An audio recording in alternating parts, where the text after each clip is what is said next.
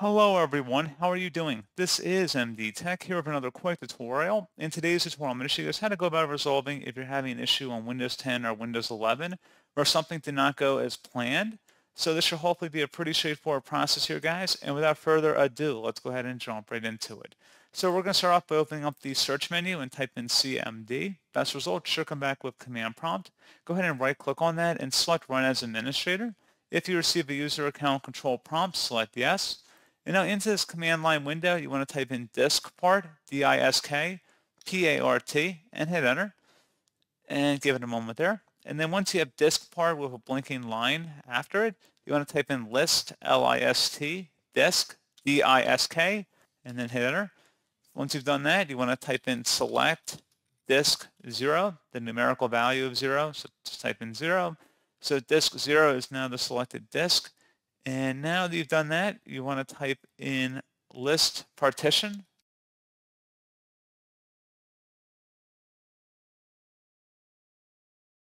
And hit enter. So now at this point, you want to go locate the partition that says system. This is very important. So this is partition 1 in our case. So we're going to type in select partition 1. Again, make sure you're selecting the system partition and then hit enter. And now that you have done that, I'm going to have an ID in the description of the video. I want you to copy it and then go up to the top bar of the command prompt window, right click on it, select edit, and then paste it in. You can also tap control V on your keyboard to paste it into. And then once that's done, it should say diskpart successfully set to partition ID. And now that you've done that, close out of here and you want to restart your computer.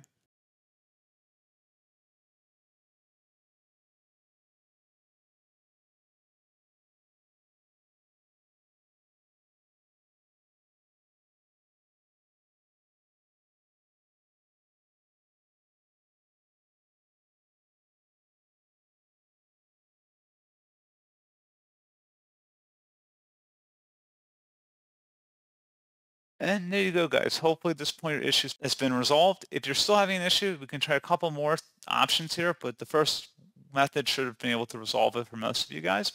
And these other solutions would entail opening up the search menu and typing in troubleshoot. Best result should come back with troubleshoot settings. Go ahead and open that up. On the right side underneath options, select other troubleshooters.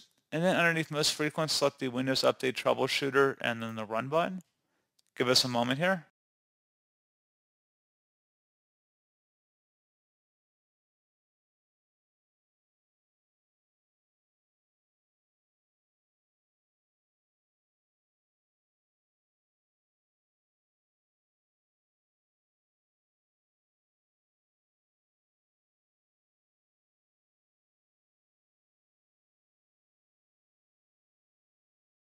And then hopefully that would have resolved the issue. If you're still having a problem, something else we can try here as well would be to open up the search menu and type in services.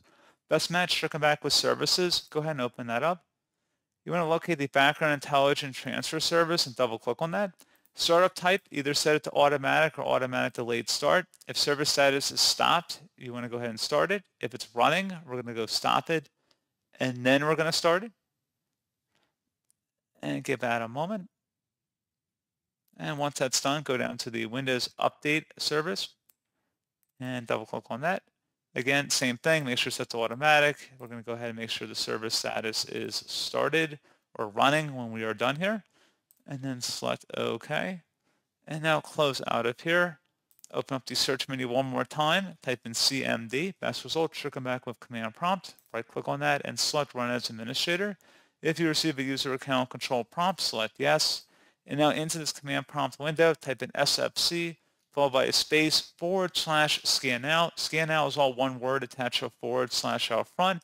Hit enter on your keyboard to begin the system scan. This process will take some time, so please be patient.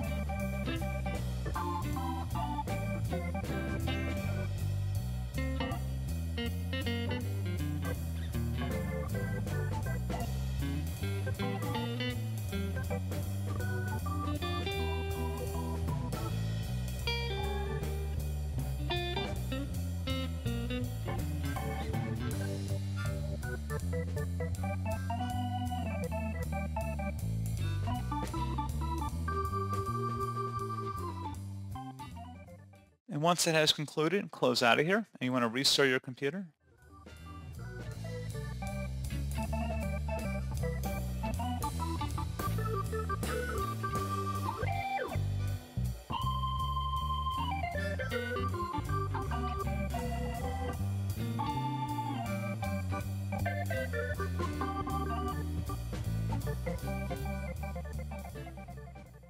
And there you go, guys. Hopefully that was a pretty straightforward process. And as always, thank you for watching. I do hope I was able to help you out, and I do look forward to catching you all in the next tutorial.